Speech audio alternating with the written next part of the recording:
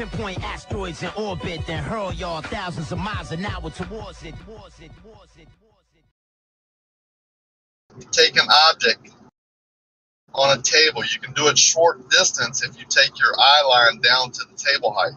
You can do it at any distance, though. But when you do it in the atmosphere and you do it over a greater distance, other things affect it. But when you do it short distance, you take your eye level down to the level of the where you can see the coin or whatever car or Lego or whatever you're looking at, and then you slide it away, keeping your eye level the same. The angle changes, and then the object will appear to disappear.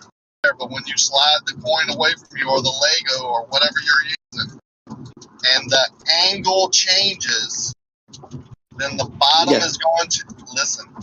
The bottom of that object is going to appear to merge into the the table or whatever you have it in and become one and you're going to be able to see the top more than you can see the bottom until the top also merges in because of the angle change It's not reality. We observe things disappearing from bottom up.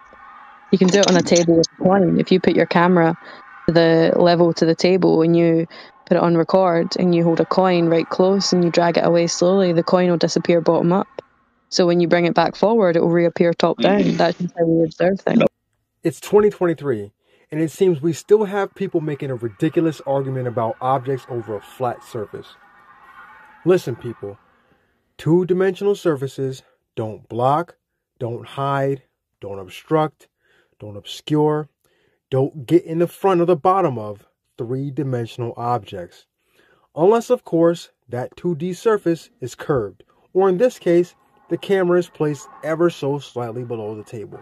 Flat earthers, let's not make this stupid claim ever again. Pinpoint asteroids in orbit, then hurl y'all thousands of miles an hour towards it. Towards it, towards it.